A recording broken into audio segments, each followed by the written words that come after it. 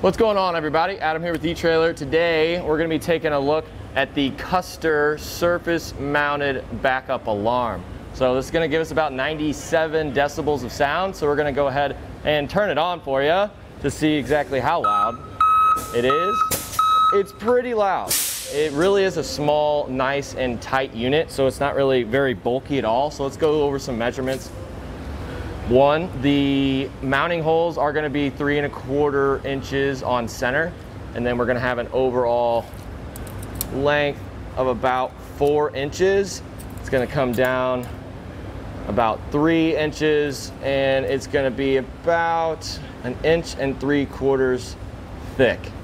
It does come with just the alarm, so we are gonna have to grab some wires and stuff like that. A lot of people are wondering if it's going to be able to adjust sound. So we have some that will, but this one will not.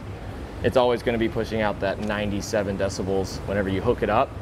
One thing that you will need to get are some terminals like this. We have them here at E-Trailer and also the wires as well. So if you're wondering if it's going to work with your vehicle, all you have to do is just find the power wire that goes to your reverse lights tied into that and then ground it and you are good to go. So if you stick around, we're gonna show you exactly how we got this thing mounted and how we wired it up. First step is finding the reverse light wire. So a way to do that is to have somebody go into the cab and then what we're gonna do is we're gonna take our tester and then just check for the wire that has the reverse circuit on. So Brad, you put it in reverse real quick. All right, so that is good. So we know that is the circuit that we want. We already ran this wire. So basically what you can do is you can take the wire that runs to your reverse lights, you can cut it in half, and then you can take another wire and twist that together with one side, put it in here, clamp it down, and then take the other to complete the circuit again. So you have two coming off this way, one goes to here, the other one goes to where it was before, and then the other one's just coming from the body harness. So that's what we did, and you can have it right here. So now we can go ahead and start mounting it up. So first you wanna figure out exactly where you wanna put it. I'm gonna put it right here just because that is where all of our wiring goes for our signal wire. So you go ahead and take it, and I already have these holes pre-drilled, and you are gonna have to supply your own hardware. So I'm just using a self-tapper, just like this and of course the tool to put it in. So we want to go ahead and put that up. We want it to be nice and tight, but not too tight. We don't want to crack that housing. It is pretty tough plastic, but just be mindful of it. We can go ahead and put the other one in. So now that it's mounted, we can start working on our wires. So once you find your signal wire for the reverse lights, you're gonna need to grab some extra wire. We have some here at E-Trailer for you. So add that to your cart and then add a little terminal like this. We also have that. Slide that in and then tighten it down. I like to get it threaded on by hand first.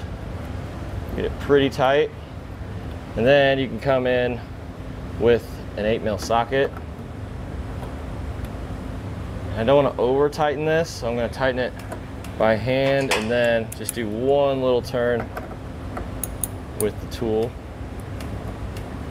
And that is pretty tight. So now we can go ahead and move on to our ground wire on this side. And then we just put together a little wire. If you do grab wire from us, you can just use that same wire. You probably have some left over. Doesn't need to be that long for our situation. But what we can do is we can take this one off. Do the same exact thing as we did before.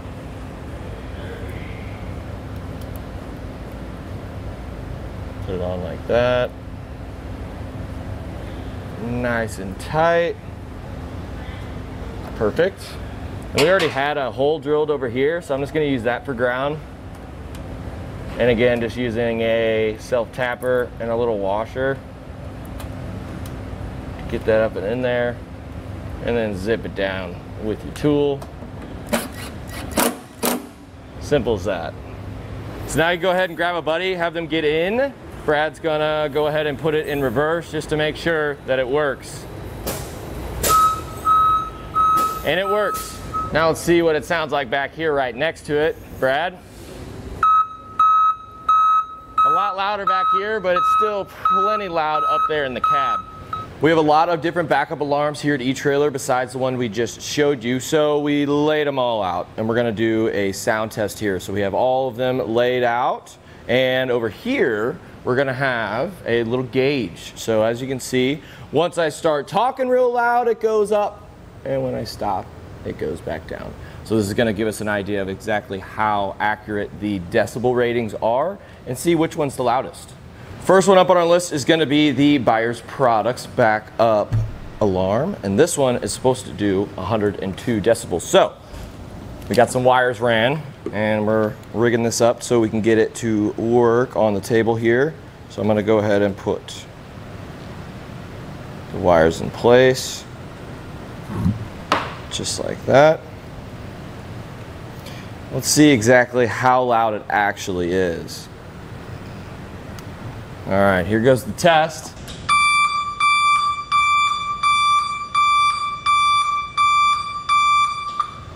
So about 96, 97 decibels, and it is a little far away. So right here, it's probably gonna be around that 102 decibel mark, which is exactly what it says. So let's move on to the next. This one's gonna be a little bit louder, 107 apparently. Again, Buyers Products. And we're going to connect it up.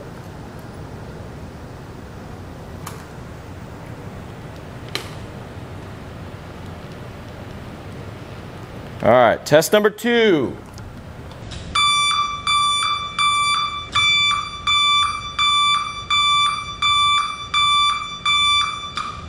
So we're peaking out about 95, which is kind of the same as the other one. It does have a little bit different tone, so that might have something to do with it.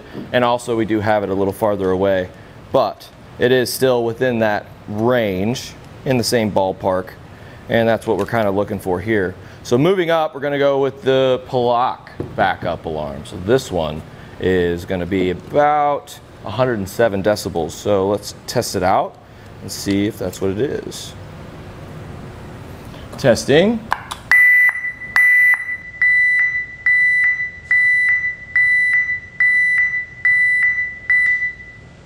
Again, kind of going around that 95 decibel range, but again, it's just an app on one of our iPads we keep here in the shop but it still is pretty loud. But all in all, it's around the same. We're looking at maybe about eight decibels of difference from what it says and what our gauge is telling us.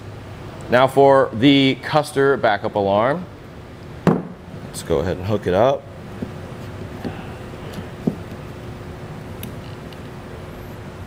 Testing.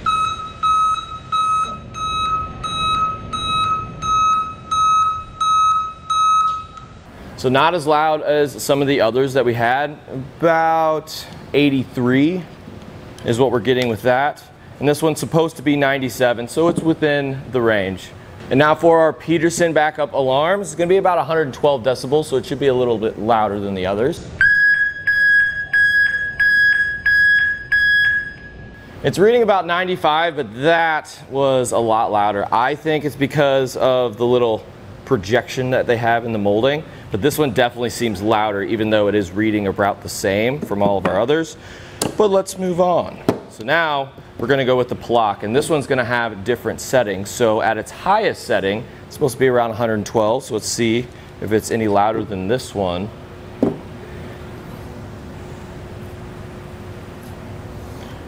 Testing.